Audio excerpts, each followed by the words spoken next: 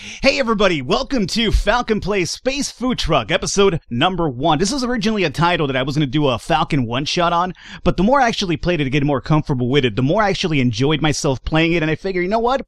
Kind of a fun little game to actually do more than one episode on, and hopefully a few of you guys will enjoy it along the way as well. This game should be coming out on Steam on the 24th, which should be today when this game go or when this video goes live. So assuming I got my scheduling correct here, it's going to be available now. So if you like what you see, definitely check out the description below. There'll be a link to the store page itself. Now, what is Space Food Truck? You're probably wondering. That's a very good question. It is essentially a culinary space game, strategic base with a really big emphasis on a card system. Maybe not as in-depth as something like, say, Hearthstone or Hands of Fate even, but definitely fun enough to kind of quote you over over here. Ah, space sprinkled across its vastness are more exotic flavors than any single tongue could hope to fathom. We, the F- Galaxy Gourmet crew, risk our lives to bring the finest dishes from across the stars right to your home planet, and to earn money so we can repay our creditors for this very expensive spaceship. The captain has spotted our course, or plotted our course, I should say. The chef selected some signature recipes, and engineer says all systems are go, and the scientist, we prefer not to ask what he's up to anymore. All we're missing are fresh ingredients and hungry customers. Let's go. Alright, so that'll be a little bit of an introduction right there. So essentially, that kind of plans out what the entire premise of the game is going to be all about. Right now, we're going to be jumped into the world map over here. I guess the, not really the world map, I guess more of the space map, really. We have the captain's turn over here right now. Bonus card, draw an extra card, brought to you by Zapmart. So how this is going to work out, right now we had like a random event where we got an extra card. Essentially how this is going to play out every single turn is that you will have five cards to mess around with over here. Some of them will be like based on your class itself and that's going to be the only person that could use this type of uh, card. Then you have cards like this over here, which is everybody's use. And then this over here would be like the power bonus right here, the one with that orange little um, hexagon or I guess shape right there, hexagon. Is it a hexagon? One, two, three, four, five, six. Six sides. I think that's about right. And then there's also a card value with it, which you will use to actually buy stuff in the Zap Mart, which we'll get into pretty soon. So right now we're starting off with the captain. The captain's role in this is to actually get you from point A to point B. So we want to make progress on the map with the captain. The chef will actually try to start getting the ingredients up here noted to start making some of these recipes and, and um, meals, which you will have to take to a certain part of the map to deliver. Plain and simple, right? Well, it's a bit more complicated than that, but right now we'll just go on with the basics here. So we're going off with the map with the space captain right now. So what I'm going to do right now is I'm going to hold on to this hall pass card. Really important, mind you, because some random events will actually be moving you from one room to the other, which is going to be kind of important. So I'm going to hold on to this card for a fact. Right now, though, I'm going to say that we're going to do some traveling with the space captain over here. Our first thing that we have to make is the sweet toboggy, which is going to require space kale, owned by nobody, so nobody in our crew has the card in their hand, and can be found via Zapmart, which is relatively easy to find, and also the blue meat, which is owned by nobody, but we can find it through the Zapmart as well. So let me go over here and go into engage as the cap. Play with power to charge the FTL drive, and travel as far as your charge allows. Alrighty. So right now we have no charge, so we can't jump right now. But if we use these cards over here, we'll be able to charge this card to make some jumps in the map itself. Now I mentioned that the hall pass is going to be really important, so at the moment, we don't have to move to another room, so I could definitely use this up to power up this card over here for a few jumps. So I'm thinking we go ahead and do a Taste of the Future, Taste of the Future, and these will be just like spam cards you would use for like, you know, power things like, you know, this card over here, for instance, right? So we have three right now that we could jump to. I'm going to go ahead and um, toss the Hall Pass in here as well. So we're going to have four charges to our jump right now. So let's go ahead and submit. This will take us over here to the world map itself, and we have three jumps left in us right now. Our first um, primary target is going to be the first um, area to drop off our meal over here, which is going to be the Ontarian. Home of Earth's Canadian exile, sadly, its soil is unfit to grow maple trees. yeah, you would, Canada. So we need to make the sweet toboggy for this area right here. So as the captain, you want to start making your way towards there, and then your chef's going to actually try to get that meal in time prepared. Once it's done, you deliver it, bada bing, bada boom. First objective done. You have three of them, as a matter of fact. So right now, um, since this is going to be all the way down here and we're over here, I'm going to jump, I'm going to say probably, hmm, we have three jumps right now. We have the Pluto 2, definitely a planet this time. Uh, if you read these, by the way, they'll have like different type of events, and also they will trigger different RNG events that could be either positive or negative, or it will help you find like a specific ingredient that you can't normally find in the Zap Mart as well. So keep that in mind. Everything's gonna be really important for this. I'm gonna go here to the Yola Preserve. I want to say not the not the YOLO, not the Yoli Live Once, but the Yola Preserve. And I could jump over here. I could continue using my charges and try to get as far as possible. which is a possibility as well. Um, you know what? Let's actually try to get as close as possible to it. So we'll make all of our jumps, and we'll jump all the way here to the X Rehgar. Make this jump happen right now. Alrighty, so we'll punch it. Now, when you jump multiple um, nodes, you have a chance to actually stopping in each and every single place to kind of either explore to find out what's going on, if you need to like stop to make some fixes to your system, your shields, your FTL, HP, blah blah blah blah blah. So um, you definitely do have that chance as well. A sure thing, you ask if anyone's picked up any Zapmart signals nearby. There's an exotic ingredient blueprint being broadcast not far from here. Could be something you need for today's recipes. So that's telling us right now that we hang out, we might get something pretty interesting. So you know what? I'm gonna go ahead and probably oh, it's gonna give me an actual marker point. So over here, we'll find some quantum beans. Now, do we need quantum beans for any sort of recipe? We do. As a matter of fact, we need it for the Asari rolls. So if we are over here struggling to find this ingredient, we now have a place where we could actually get it for a fact, so we'll keep that in mind. Let's go back over here, and we could now dock it, or just punch it, and you know what, for now, we punch it a bit more, I'm going to say. So at least now we have a pretty good marker to give us an idea, hey, there's an item over here in case I can't find it anywhere else.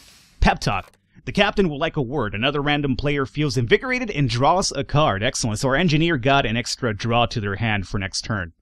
Perfect. So now we're just going to go ahead and punch it one more time. And see what happens here. Safe system X Rehgar.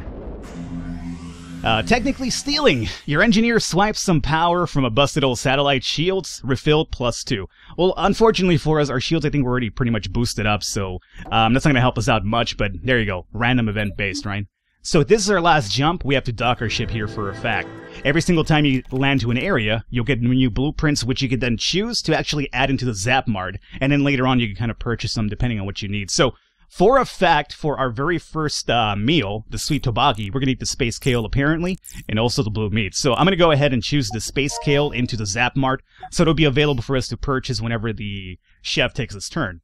And other than that, let's see, we could add a few more, because we have two slots available over here if we wanted to add a few more. We're going to need the post-cheddar cheese for the Asari roll, so we might as well just add this now and try to pick it up with our chef as well.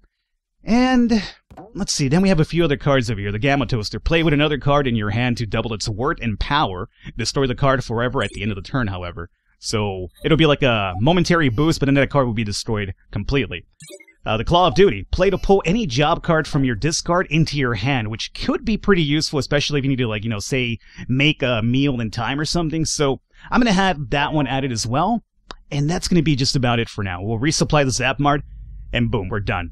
So at this point, if I had some more cards left over, I could definitely play my the rest of them. But because all we have left is the engage card, which is going to be a jump, but we have no power cards to power that up, we can't continue any war. So we're going to go into next phase over here. Now over here, every single time you end a turn with a character, you have to draw at least one card from the Zap Mart.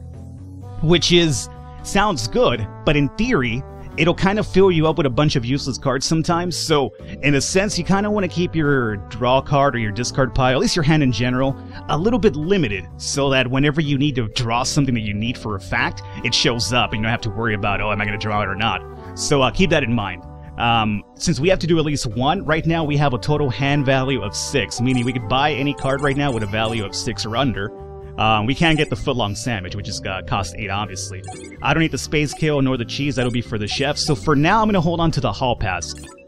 Now, the reason why I'm holding onto the hall pass is because sometimes you have to move characters to another room to avoid uh, terrible events sometimes, right? So I want to keep that in mind, keep that in my hand just in case I do need it. I have three more coins over here and essentially to use up, but I'm going to go ahead and bypass that and say we're done here, we'll end our turn. All the cards that we used up will be drawn to the discard pile, and then we'll pick up from our drop pile, and then the discard one will go ahead and refill the drop pile again. So, relatively simple so far, but it can get a little bit tactical down the line. The Bad Dream. The captain nods off at the helm after an all-nighter. Discard 2 power to wake up, or we hit a space probe for 1 damage. Now, the damage will not affect you if you have shields, obviously. So right now, if I couldn't, you know, meet this requirement, I could just go ahead and um, take the damage and lose one shield, but we won't take any damage to our HP overall. You hit 0 HP, obviously game over. So, unfortunately though, we have to meet this requirement with the chef. So I won't be able to do anything interesting over here with the chef, but I might go ahead and just use up the the the cards over here, the email ones, which are basically pointless. So I'll use up these two over here to avoid damage, and we'll dodge this uh, event, and we're fine, right? Perfect. Now, as you can see, for my turn with the chef, I only have three cards as opposed to five. Now the cooking one is going to be for every two power play with this, toss an ingredient from your hand or discard into the pot. So whenever you're ready to start cooking your meal to sell off, you definitely want to have a few of these involved over here. But since we are still missing most of our cards and the this dude has not yet acquired any of these items, there's no point in doing this right now. And unfortunately, even though we have the Space Kale available in the Zap Mart, I'm not going to have enough money, I don't think, to actually acquire it next turn because of the turn that we used up cards to keep us from taking damage right there. So what I will do is I'll use the Taste Test. Play to draw two. Add one to your hand and toss the other card to the discard, or you can destroy it in general, which is actually kind of good. You'd think um, destroying cards is a bad thing, but it's actually pretty good what I mentioned earlier of how you want to make sure you have important cards in your hand and not like a bunch of filler that's not going to help you draw the card that you need in time. So sometimes you definitely want to use the chef to destroy a card whenever you're overloaded here a bit. So I'm going to have the Hall Pass get thrown into my hand for now. And then this is going to be another cooking card. I'm going to go ahead and just discard it. I want to keep the cooking cards around, so I'm not going to destroy that one. Now, over here, we are essentially done. We could move around if we wanted to. Uh, we're not going to cook anything right now, so at this point the chef is basically done ski. We'll hit our next phase over here. And as you can see, luckily for us, the Space Kale is only three, which is, um, we have four. So we could definitely pick up the Space Kale into our little uh, discard pile now. So that'll be part of our ingredients. As you can see over here, the Sweet Tobagi is now saying, hey, you have this in hand and it's actually owned by the chef, which is actually really ideal. Last thing we need now is the blue meat. So with this done, I already drew my card. I'm going to say that's about it, so we'll go ahead and end our turn here with the old chef. Perfect. And we'll draw again, and then the draw pile will be rejuvenated again with the discard pile. Scientist's turn. Now, scientists will be used for different things, which you'll explain really soon right now. It came out of nowhere. The ship takes one damage. But luckily for us, we had a shield, so we avoided that damage right there. Alrighty. So, for the scientist, his main premise is going to be foresight and research. With research, play this power, play this with power to unlock a lab research node, adding a new job card to someone's discard. So what this is going to do is actually going to help you load up your certain class members' hand with um, cards for their particular interests. So it's going to be really important, especially if you want to have like a bunch of cooking cards for the chef, a bunch of FTL drives for the captain, so on and so forth. Um, however, every time you do this, it's going to cost you more and more to actually unlock a card for their particular deck. So what you want to do is actually use Foresight. Now, check this out. For every one power played with this, peek behind one locked research node in the lab. So let me play this out and show you how this works out. I'm going to use Foresight along with Bam and Bam, and these guys have no power, so I will leave them behind. Let's go and submit. This will bring me over here to the research uh, node itself. Now, because we have two research points for peaking, what I could then do is actually pick a random node and see what's behind it. So instead of like necessarily um, having to go down the line and just being lucky, I could kind of know what card is available to what class ahead of time, so I could definitely pick it if I really need it at a time. Otherwise, I could just say, like, you know what, I don't need that, no point in actually acquiring that card just yet. So for now, we'll go into... Let's go with the captain over here. With Foresight, I unlocked Backtrack. Play with 3 power to return to any previously visited planet, which is going to be pretty good, especially if you, say, are in one side of the map and then your next um, goal is going to be in the other side of the map and you've already been there before, you can just essentially jump back in one fell swoop. So that's a pretty good card to have. So that's a good uh, peek for us. It's not in our card pile just yet, but at least now we know that it's there. And then with the other one, we'll go into, say... Let's go into the chef one over here. And we have the secret sauce.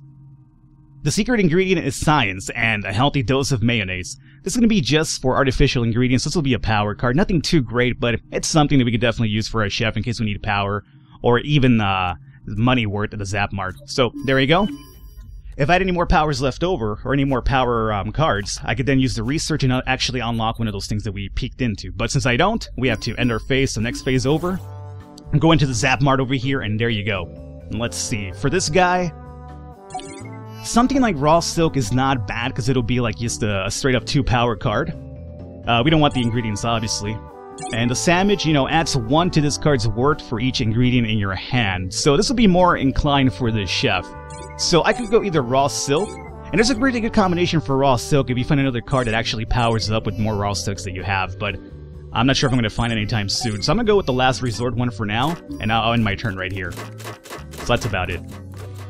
And there you go. This will be our new draw pile over here. Nothing good? Alrighty. Now, Engineer's turn. Engineer is going to be solely based on fixing anything that goes wrong in your ship. Crisis. It's an emergency. These two players have 12 turns to meet in a room shown. If they can't, the ship takes one damage. So, this is what I meant about the hall pass. So for this event, if um, the scientist and the engineer do not meet up in the captain's room in 12 turns, we're going to take some damage to our ship. Now, if we have a shield, we're fine, but you know, you want to avoid that in case you can't necessarily fix up your shields in time. Now, the engineer will be over here fixing everything for you. So your doors, they get messed up. If the door's locked in, you can't get into that room, so you'll need to fix that. Your shields, have to fix those. FTL drive being hurt, have to fix that. And even the research node, which is going to be, where's that going to be at? Over here? No, that's going to be the chat window over here. Ah, let's see. Can't really figure it out right now, but I'll show you at some point what I mean. Alrighty. Oh, you know what it is? It's lab. So at times this will also get um quote unquote busted, and you won't be able to unlock any cards if this is busted. So you need to come over here and fix it with the engineer as well. Alrighty. And this right here will tell you what's going on in your ship in the uh, engineer's room. So as you can see, our shields are one of two because we actually took one damage from a random event. So we will have to keep that in mind as well. So right now, we have the trusty wrench. Let's find out what this is all about. Play with power to charge your wrench and fix broken items around the ship, which is, you know, our shield right there. So I could use this up with maybe one power card, fix that, and you're fine. However, you can also upgrade your ship. Play with one power to add a point to your FTL engine or shield capacity. So you can increase your shield over time as well by using upgrade ships as well. So you know what? I kind of want to do that as much as I want to fix up the shield. As a matter of fact, what we could do is probably do this. Check this out. Maybe do Trusty Wrench with uh, one power card. We'll submit over here. And we'll come over here and fix up the shields, and boom, we're fine over here now. Let's go back, and I have my cards over here left over. Let's go ahead and upgrade the ship. One, and two, and submit.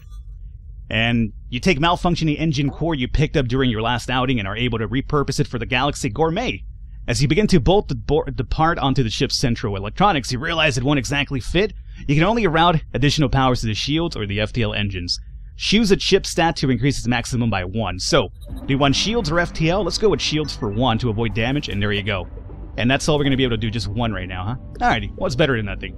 And since we're done over here, we can't really use this, uh, this upgrade card with no power cards, so we'll go into next phase. And let's see here. Claw Duty could be pretty useful. This lets you play, um, pull any job card from your discard into your hand, so if you need something right there and then, you could definitely just go ahead and pull. You know what? I don't think this is a bad card for the engineer, especially if you need to fix something on the fly. So let's go ahead and grab Claw of Duty over there. It'll cost me 6, which is exactly what we had, so we're fine. End our turn, and we'll go ahead and repackage ourselves over here. And it'll be the captain's turn yet again. And as you can see over here, we'll have a random event, obviously. Crisis! It's an emergency! These two players have 12 turns to meet in the room shown. If they can't, the ship takes one damage. So we have to have Captain and Scientist meet up in the engineer room itself. And this will be noted over here as well. Remember our first one, which was Scientist and Engineer and the ship captain? That's going to tell you right here. And our new one's going to be right here as well. So, this is kind of like a little bit of an introduction I want to do first and foremost. Uh, I want to wrap up the episode here. Next episode, we play a bit more now without having to explain everything, but at least I'm going to give you a good idea as to what exactly I'm doing because it can be a little bit overwhelming at first, but once you get the gist of it, you're kind of, you know, in the driver's seat, albeit, you know, random events that you have to kind of meet, and also the luck of the draw as well with card games. But this will be Space Truck episode number one. Hopefully, you guys enjoyed it. If you did, leave a thumbs up, leave a like. The support does mean a lot. Stick around. We will do maybe another two episodes or three see if you guys enjoyed. It. If you do enjoy it, we'll go forward with it. Otherwise, we'll wrap it up, but at least I've given you a pretty good idea as to what uh, Space Food Truck's all about. I will catch you next time.